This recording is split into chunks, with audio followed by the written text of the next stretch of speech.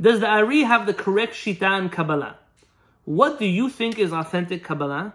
And what role should mystical teachings play in our lives?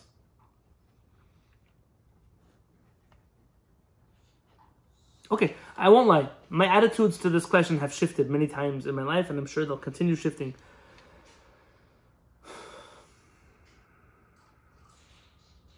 Suffice it to say that, in general, in terms of the Zohar and Kabbalah, and there's a Talmid Chacham that I'm very close with who may not love everything I'm saying right now.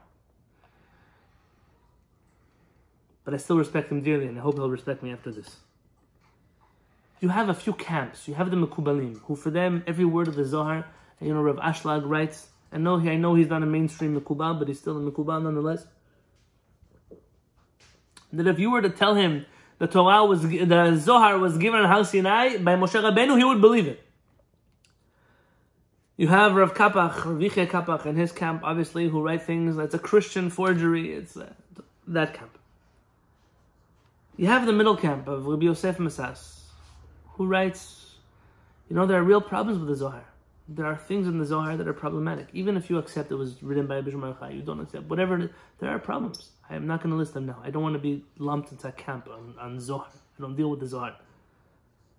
They said you have to accept that even if you believe things came from Rabbi Shimon Bar Yochai, clearly not all of it did. There are many things here that Yadei Zarim Shal Tuba, that foreign hands have tampered with this book. And its reliability is questionable. Those three extremes can't be reconciled. So how do I reconcile it? The way of Rabbi Shalom Masas in his books many times, Tevuot Shemesh, Shemush Magen. This is essentially how stands as well. Divrei Kabbalah lo ne'emru ela lematzni'ehem bilvad. The words of Kabbalah were given to the matzni'ehem, those who hide her secrets. The Kabbalists. Kabbalists should deal with Kabbalah. You're a Kabbalist, you know how to do it, do it. I didn't stick my head in your life, stay out. But myself, Yonatan Halevy, and all the other regular Jews in the world, we have a Torah that was given us to Har Sinai, a Mishnah, a Talmud, a Rambam, a Shulchan Aruch. I don't have anything more than that. That's what I have. Those are the books that I have. Those are the th- principles by which I live my life. And therefore, when it comes to halakha, when it comes to my life, I, I'm just a regular Jew. Uh, those of you who are not, you're super Jews, I'm not involved. But what do I believe? I don't know enough about Kabbalah to tell you is that Rizal right? Is the Ramak right? Is this one correct? Is that one not correct? I don't know. I don't know. How am I going to tell you? Something I don't know about.